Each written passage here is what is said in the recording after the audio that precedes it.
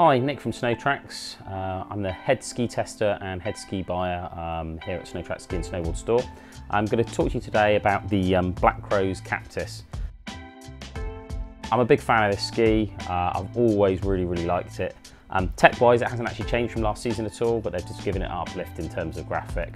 Um, if you've watched any of my other reviews on some of the Black Crows skis, you'll have uh, heard me talk about the uh, graphic inspiration. So um, the skis either come with a black with a thin pinstripe heading to black at the tail, or they start black at the tip with this thicker pinstripe and white at the tail, like the Captis, um, or the sort of more big mountain range come with um, white at the tip and white at the tail um, with a thicker pinstripe as well. So this sits in the middle as that sort of like all mountain range. I think it looks really, really smart this season, um, and definitely when we've had it out on test with some bindings on the snow, looks looks really, really cool. Um, just a pop of colour on the sidewalls as well. In terms of how it skis, um, probably heard about this already. It was one of our fastest selling skis at the start of last season. Lots and lots of people asking about it, asking how it skied. Uh, and basically it's um, a really good all-rounder, um, which is why it gets picked up uh, quite a lot. Profile wise, you've got um, camber under the foot and then rocker heading out on the, onto the tip and rocker on the tail of the ski, which gives it lots of flotation in fresher snow conditions, but it also gives it sort of the bite with the camber under, under the foot to give you some performance on the piste. You'll notice at the tip, it tapers in nice and early round here. Okay, so your actual area where your ski is biting on the piste is round about here, and then you can see it come in at the front. And that just gives it this really nice pivoty feeling. So when you're skiing on the piste, it pivots into the turns really, really easily, making it really nice and playful. Um, and also get it into softer snow conditions, it, it, gives you that versatility to sort of throw it around a little bit more. Um, but you've also got a decent side cut through the ski to give you grip on the piste.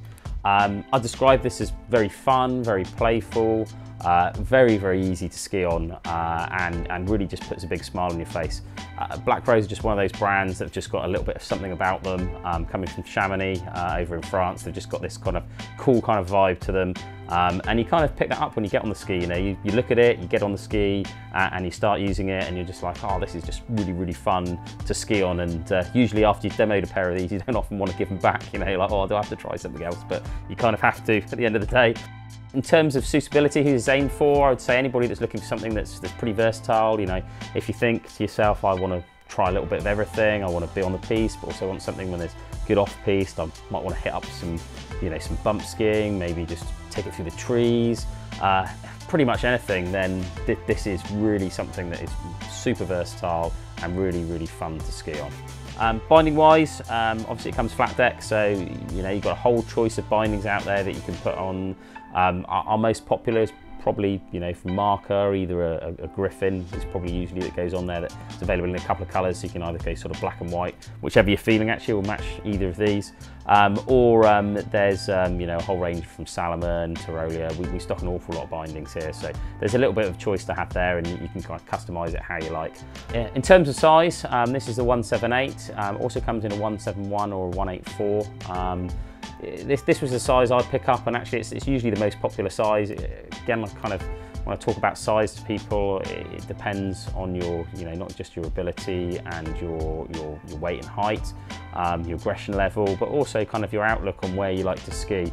Um, and there's some personal uh, choice in there as well, but and this is probably the most popular length. We normally sort of say you want small, medium or large in terms of the sizing, um, but we can give you a bit more advice if you pick up the phone and, and, and give us a call or, or, drop us an email or comment on the video even. A lot of people comment on the video and we'll, we'll pop up what size is suitable for them or have a little conversation. Um, but definitely going to be a hot ski next season, looking really, really sharp. And um, I know from experience and having tested this extensively, a lot, a lot of fun.